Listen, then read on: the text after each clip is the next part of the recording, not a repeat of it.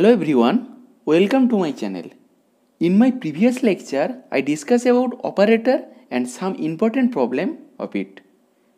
Today I discuss about Schrodinger wave equation and some problem related it. So please see this video very carefully. To describe the wave nature of the particle according to de Broglie hypothesis, materialistic particles are moving like waves, like matter waves. To describe the behavior of the matter waves, we require a mathematical equation, and that mathematical equation in quantum mechanics is called Schrodinger wave equation. It is a basic law, like Newton's law of motion is fundamental in classical mechanics. So, what according to Newtonian mechanics, like if a particle moving like a wave, its mathematical equation is written as del square y by del t square equal to b square into del square y into del x square, where y is the amplitude of the wave and v is the velocity. So, this is the equation to which we describe the wave nature of a macroscopic body.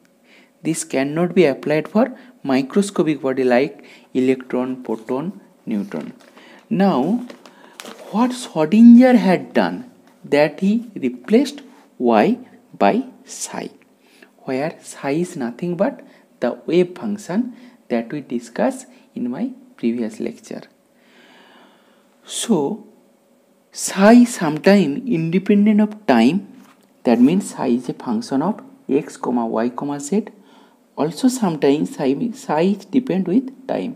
That means psi is equal psi is a function of x y z and t also. So del square psi del t square equal to v square del square psi del x square is for one dimensional and for three dimensional del square psi del t square equal to v square into del square del x square plus del square del y square plus del square del z square into psi where del square del x square plus del square del y square plus del square del z square equal to grad square.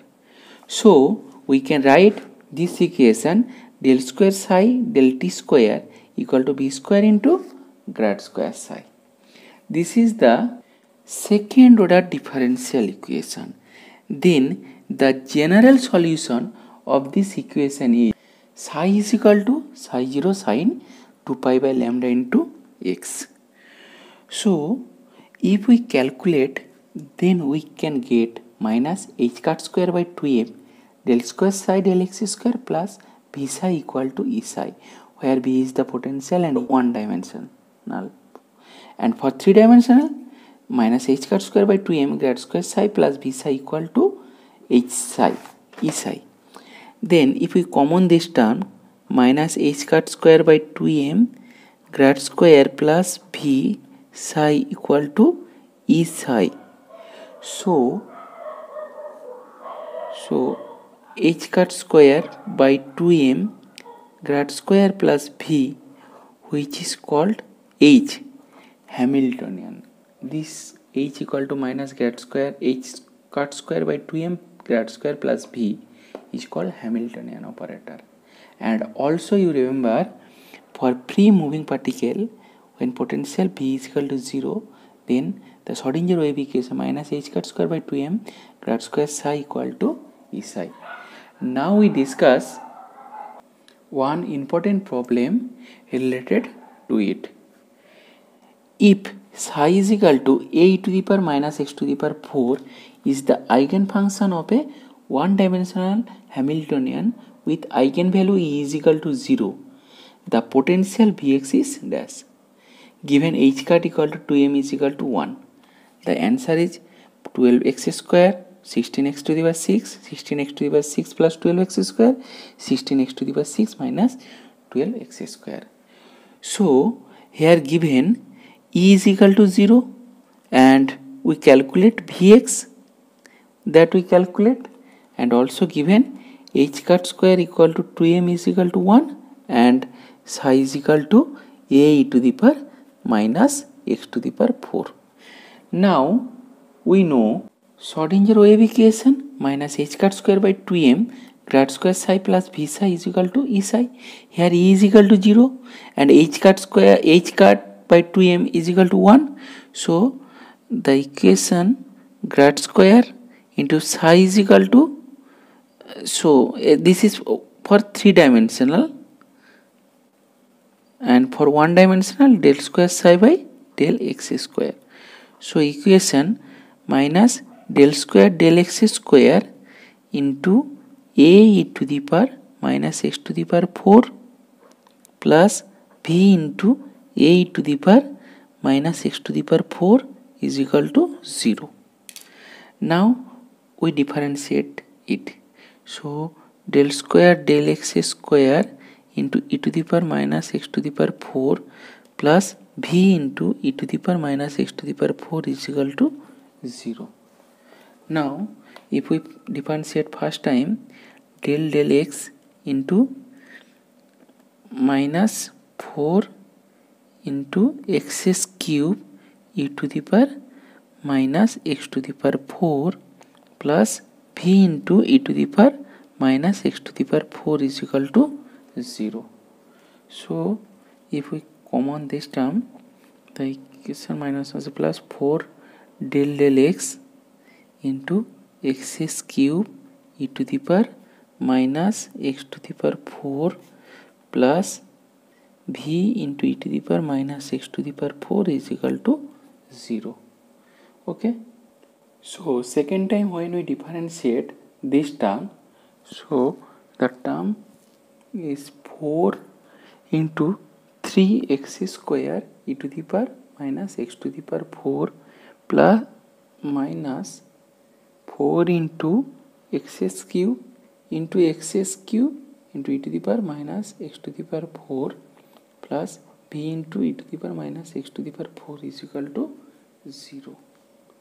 So if we common if we multiply 4 means 12x square minus 16x to the power 6 e to the power minus x to the power 4 plus v e to the power minus x to the power 4 is equal to 0.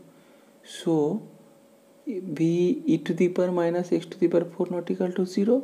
So 12x square minus 16x to the power 6 plus v is equal to 0. So v is equal to 16 x to the power 6 minus 12x square. So correct answer is D. Okay. Now we discuss another important problem which is important for MSc entrance test.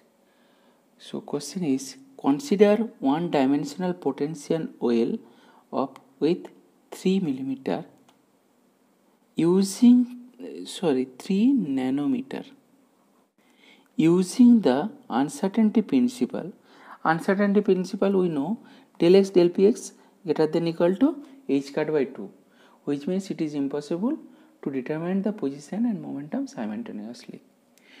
So an estimate of the minimum depth of the well such that it has at least one bound state for an electron micro electron volt one milli electron volt one electron volt, one mega electron volt that we calculate so we calculate the energy equal to P square by two M now we know uncertainty principle del X del P X equal to H cut by two so we want P so del P equal to H cut by two del X So we can write P is equal to h cut by 2 suppose with is A.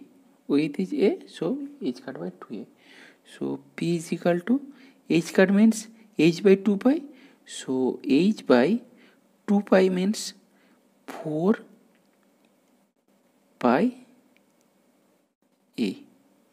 Now we put this value in this equation. So equal to h square h square by 16 pi square a square into 2m means 32 pi square m a square. So this is the value of e. E is equal to h square by 32 pi square m into a square. Now we calculate this energy.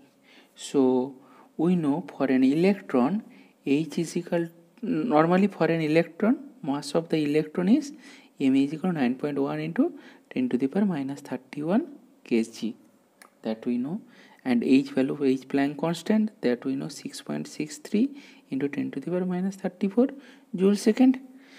Then and given a is equal to 3 nanometer means 3 into 10 to the power minus 9 meter so if we put this value then E is equal to H means 6.63 into 10 to the power minus 34 whole square divided by 32 pi square into M value which is 6 9.1 into 10 to the power minus 31 into a square means 3 into 10 to the power minus 9 the whole square. Then if we solve this equation we get 10 nearly equal to 10 to the power minus 3 electron volt. That means 1 mega milli electron volt